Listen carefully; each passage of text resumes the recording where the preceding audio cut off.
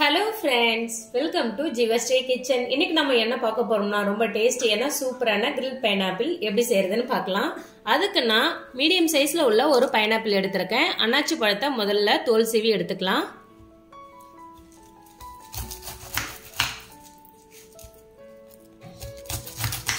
இந்த மாதிரி கட் பண்ணி எடுத்துக்கலாம்.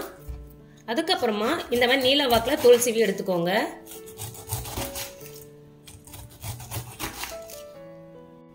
பைனாப்பிள் சுத்தம் பண்ணி எடுத்துட்டு வந்துட்டேன். இப்போ கட் பண்ணிக்கலாம். இந்த மாதிரி பாதியாக கட் பண்ணிக்கோங்க.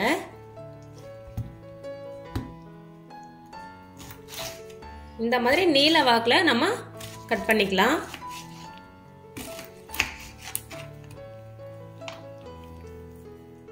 இதே மாதிரி எல்லாமே எடுத்துக்கலாம். கட் பண்ண பழத்தை ஒரு பவுலில் போட்டுக்கலாம். இப்போ பைனாப்பிள் தேவையான மசாலாவை சேர்க்க போறோம். உப்பு தேவையான அளவு.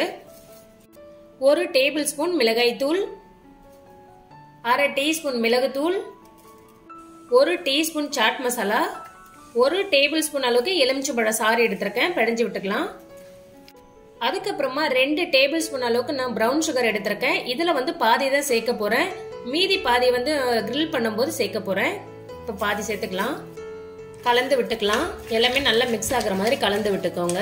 இது வந்து ஒரு அஞ்சு நிமிஷம் வரைக்கும் அப்படியே இருக்கட்டும். இதை நீங்கள் அப்படியும் சாப்பிட்லாம். இதே வந்து நீங்கள் கிரில் பண்ணி சாப்பிடும்போது இன்னும் டேஸ்ட் ரொம்ப சூப்பராக இருக்கும். இப்போ ஒரு கிரில் பேனில் வெண்ணெய் ஒரு டீஸ்பூன் அளவுக்கு சேர்த்துக்கோங்க. அப்படி இல்லைன்னா ரீஃபைண்ட் ஆயில் ஒரு டீஸ்பூன் அளவுக்கு சேர்த்துக்கோங்க. ப்ரஷ்ஷால் இந்த மாதிரி தடவி விட்டுக்கோங்க. பேன் நல்லா சூடாயிடுச்சு. இப்போ பைனாப்பிளை வச்சிடலாம்.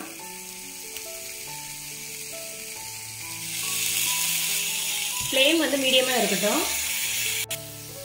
திருப்பி போட்டுக்கலாம்.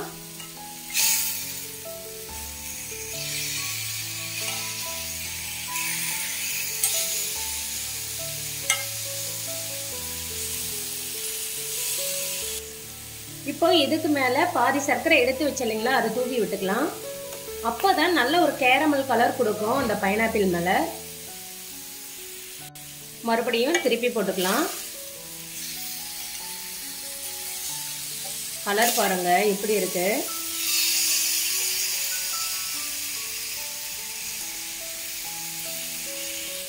இப்போ ஒரு அஞ்சு நிமிஷம் வரைக்கும் குக் ஆகட்டும். இப்போ மறுபடியும் திருப்பி போட்டுக்கலாம். அஞ்சு நிமிஷம் வரைக்கும் குக் ஆகட்டும்.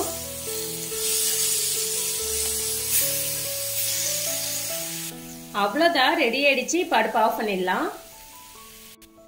எப்படி இருக்கு பாருங்க. சுட சுட கிரில் பைனாப்பிள் ரொம்பவே சூப்பராக ரெடி ஆயிடுச்சு.